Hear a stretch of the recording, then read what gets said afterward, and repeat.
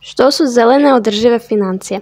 Zelene financije su ulaganje u budućnost i borbu protiv globalnog zatopljenja jer to su ulaganja u održive projekte, inicijative te ekološke proizvode i politike. Povijest zelenih financija. Koncept zelenih financija postoji već oko 20 godina. Prvu zelenu obveznicu izdala je 2007. godine Europska investicijska banka, kreditno tijelo Europske unije. Godinu dana kasnije slijedila je i Svjetska banka. Od tada su mnoge vlade i korporacije ušle na tržište kako bi financirale zelene projekte. Godine 2015. usvajanjem Pariškog sporazuma o klimi i napotica bivšeg guvernera Bank of England, Marka Carneya, koji je probudio svijet svojim govorom pod nazivom Tragedy of the Horizons ili Tragedija horizonta. On je potaknio druge financijske institucije da osvijeste postojanje mnoštva klimatskih rizika koji će u budućnosti utjecati na njihov financijski uspjeh. Ciljevi zelenih financija. Primarni cilj zelenog financiranja je financirati tvrtke koje imaju pozitivne okolišne, društvene i upravljačke karakteristike. Da bi se to postiglo, stvoreni su zeleni investicijski fondovi.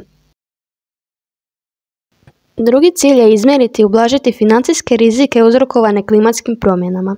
Najizraženiji su fizički rizici kao što su uragani, poplave i šumski požari. Na njihovo sprječavanje se može utjecati ulaganjem održive izvore energije kao što su solarne i vjetroelektrane, koje će zamijeniti stare kao što su termoelektrane koje uzrokuju zagađenje zraka. Ulaganje u reciklažne centre, pročišćavače vode, pošumljavanja ugara i ozelenjivanje gradova. Koja su to održiva ulaganja? Zelene obveznice su ključan financijski instrument za financiranje ekološki održivih projekata. HLEG ili stručna skupina Europske komisije na visokoj razini za održivo financiranje koja je postavila temelje čvrstom povezivanju financijskog sustava s okolišem, društvom i upravljanjem za širu brigu o održivom razvoju bez štete za okoliš i prirodne izvore. Tako su zelene obveznice postale jedan od najsigurnijih oblika zelenog ulaganja jer su HLEG uredbom određeni zahtjevi u pogledu otkrivanja informacija kako bi se spriječio manipulativni zeleni marketing na tržištu zelenih obveznica. Porast broja zelenih obveznica u Europskoj uniji.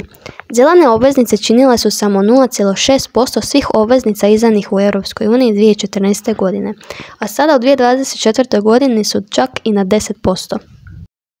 Graf prikazuje izdavanje zelenih obveznica kao postotak ukupnog izdanja obveznica svih izdavatelja i svake vrste izdavatelja obveznica u uniji od 2014. do 2024. godine. Zelene obveznice u Republici Hrvatskoj. Kao primjer možemo navesti da u Hrvatskoj su izdane dvije obveznice povezane s održivim poslovanjem. Prvo takvo izdanje bilo je od Meritus ulaganja, odnosno Empilus grupe, s iznosom od 40 milijuna eura u srpnju 2022. godine s fiksnom kamatom od 4,25%. Ako tvrtka ne postigne ciljeve održivosti, suočava se s povećanjem kamate za 0,75%. Kao drugi primjer možemo navesti Zagrebački holding, koji je u srpnju 2023. godine izdao obveznice u vrijednosti od 305 milijuna eura po fiksnoj kamati od 4,9%. Izdanje je naišlo na veliki interes ulagača što je omogućilo povoljnije uvjete financiranja u odnosu na klasične obveznice. Opasnosti zelenog marketinga. Manipulativni zeleni marketing ili ti greenwashing je novi trend koji se pojavio kao posljedica zahtjeva tržišta za ekološki prihvatljivim i održivim rješenjima. Podrazumijeva aktivnosti kojima poduzeće ili organizacija posvećuju više vremena i resursa dokazujući da su zelene oglašivanjem i reklamiranjem nego što stvarno primjenjuju poslovnu praksu kako bi smanjile neželjen utjecaj na okoliš. Primjeri greenwashinga. Ožujak 2023. Nike je optužen za zelenaštvo u marketinškim tvrdnjama vezanim uz njegovu kolekciju održivosti. Djelomično tvrdeći da reciklirani polijester i reciklirani najlon koji se koriste u nekim proizvodima zapravo nisu održivi materijali i stoga se ne mogu reklamirati kao takvi. Kolovoz 2023. utvrđeno je da Himov i Zarni marketing obmanjuje potrošače da povjeruju da su proizvodi održivi i ekološki prihvatljivi. Umjesto da proizvode naziva ekološki prihvatljivima, oni koriste riječi kao što su svjesno i održivo. Studeni 2023. Coca-Cola, Danone i Nestle optuženi su za greenwashing od strane potrošačkih skupina koje su podnijele pravnu tužbu Europskoj komisiji pozivajući na suzbijanje obmanjujućih tvrdnji o mogućnosti recikliranja plastičnih boca. Kako doprinijeti zelenoj tranziciji?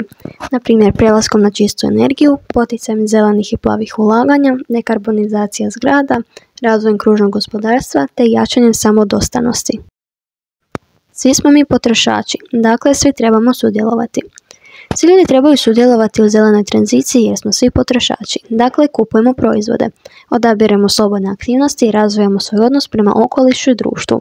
Svatko nas treba biti svjestan mogućnosti održive potrošnje, održivog ulaganja i mogućnosti ugovaranja financijskih usluga koje podupiru održivost i zelenu tranziciju.